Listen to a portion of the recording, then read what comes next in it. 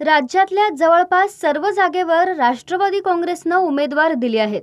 केवळ रावेर लोकसभा मतदारसंघातील उमेदवाराची घोषणा अद्याप राष्ट्रवादीनं केलेली नव्हती.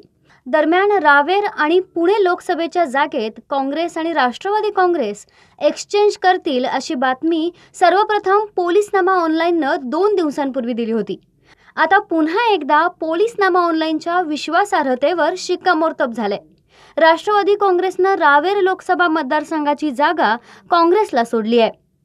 पुणे आणि रावेर लोकसभा मतदारसंघात दोन्ही पक्षाकडून उमेदवारी जाहीर करण्यात आलेली नव्हती. अखेर राष्ट्रवादी काँग्रेसनं रावेरची जागा काँग्रेसला सोडली असल्यानं आता पुणे लोकसभा मतदारसंघात काँग्रेसचा की राष्ट्रवादीचा उमेदवार असणार याकडे सर्वांचं लक्ष लागलंय. रावेरची जागा काँग्रेसला सोडली असली तरी अद्याप काँग्रेसनं रावेर येथील उमेदवार सोडलेला नाही आहे पुण्याची जागा काँग्रेस राष्ट्रवादीला देणार काय अशी चर्चा चालू झाली आहे दरम्यान त्याबाबत अद्याप काही एक निर्णय झालेला नाही असं सांगण्यात येत आहे.